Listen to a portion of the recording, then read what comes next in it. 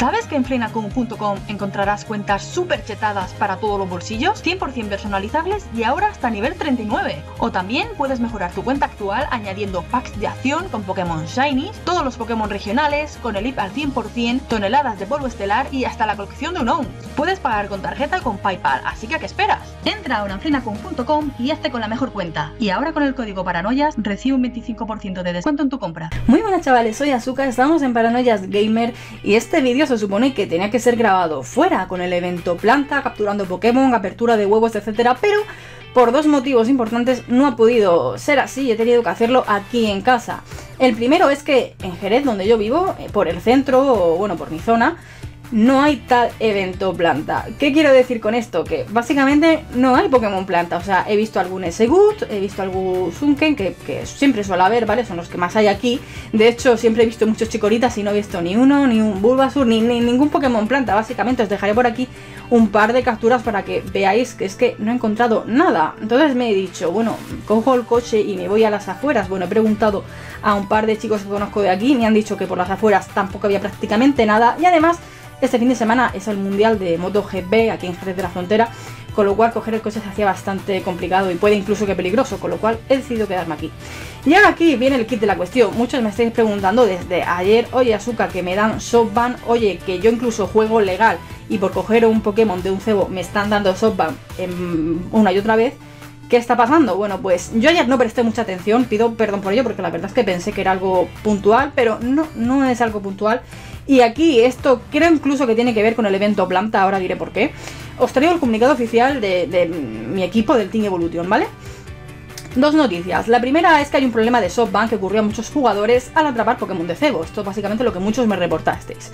El SoftBank, para quien no lo conozca, pues es un bloqueo del juego que te impide girar Poképaradas y hace que los Pokémon se escapen durante ciertas horas. El problema es que muchos SoftBank pueden conllevar un baneo permanente y por tanto suspensión de tu cuenta. Vale.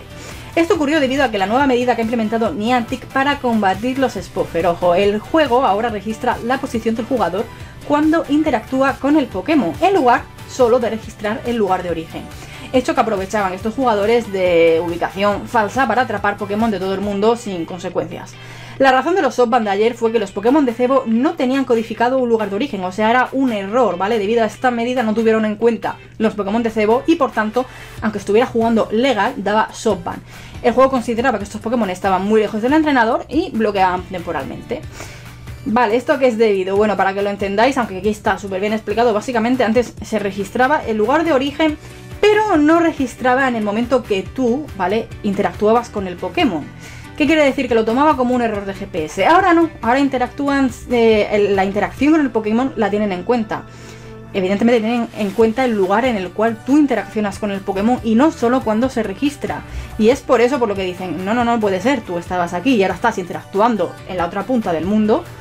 No puede ser un error de GPS. Y aquí el problema. Ya digo, lo de los cebos, si no me equivoco, lo están solucionando ya, es que no lo han solucionado. Y viene por eso, no, no lo tuvieron en cuenta y básicamente fue, fue lo que pasó. Eh, ¿Tiene que ver esto con el evento Planta? Mm, en principio diría que no, pero claro, me deja en la duda. He estado preguntando también a gente de Cartagena, he puesto un Twitter y muchísima gente del mundo me ha dicho, Yasuka, que estoy igual que tú, que en mi ciudad, en mi país, no hay evento planta, no hay nada. Otros, por el contrario, sí me han dicho, oye, he visto muchos chicoritas, he visto muchos Bulbasur, he visto tal, pero donde otros no. Entonces, ¿qué ocurre? ¿Es posible que Niantic haya hecho este, perdón por el perro, perdón, eh, haya hecho este evento para cuando las personas que no tengan evento planta cerca se teletransporten a otro sitio donde sí haya evento planta y puedan capturar? Y de esta forma meter un softban, no lo sé, desde luego no me parece justo que personas que juegan legalmente en su ciudad no puedan tener evento planta, si es este el motivo, y por supuesto quien quienes sus cebos se hayan encontrado con este papelón. Eh, otra noticia importante también es el cambio reciente de los IP y puntos de combate de los Pokémon para entrenadores de nivel inferior a 30, ¿vale? Si el corte en un principio se parecía en 25 el tema del IP, ahora parece que está en 30 y hay muchas fuentes que indican que los jugadores de nivel 25 no tenían los mismos Pokémon anteriormente, esto ya lo dije en un vídeo, pero ahora básicamente se basa en 30 es decir, de nivel inferior a 30, todos los puntos de combate van a ser aleatorios, lo cual dificulta mucho, como ya comenté, el tema de radares, mapas, etcétera, etcétera. Todavía no se sabe si, se sigue un patrón o es aleatorio, mantendremos informados. Este es el comunicado del Team Evolution. Vale, Azuka, entonces ahora, ¿qué hacemos? ¿Qué se puede hacer? Bueno, evidentemente es una medida que Niantic iba a tomar antes o después. De hecho, no sé por qué han tardado tanto, pero bueno, eh, no por nada, sino porque se supone que, que si lo podían haber hecho antes, ¿no? Me refiero, si tanto molestaba.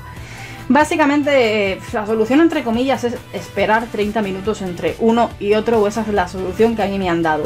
Pero vuelvo a decir lo mismo, eh, Niantic está en su derecho a eh, ir contra estas personas que utilizan sniper o, lo, que lo que sea, ¿no?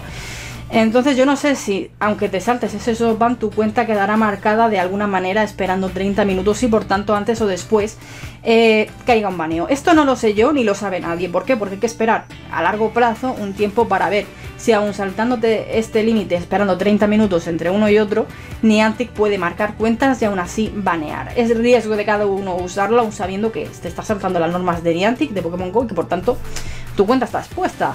Em, yo por mi parte ya digo, veo fatal que jugadores legales se vean afectados, tanto por los cebos como por el evento, y que si realmente no tiene nada que ver el evento planta, no se ha hecho para que la gente utilice joystick o, sniper o tal, estáis dando la razón vosotros mismos, es decir, no podéis coger una ciudad y dejarla completamente sin Pokémon planta mientras estáis anunciando un evento de ese tipo. Es mi queja, creo que, estamos todos en derecho de hacerla y por supuesto los que pongan legal más todavía, ¿no? Eh, que yo ponga un feo y no pueda coger Pokémon porque me dan softban es un error que creo que podían haber previsto antes, ¿no? Digo yo.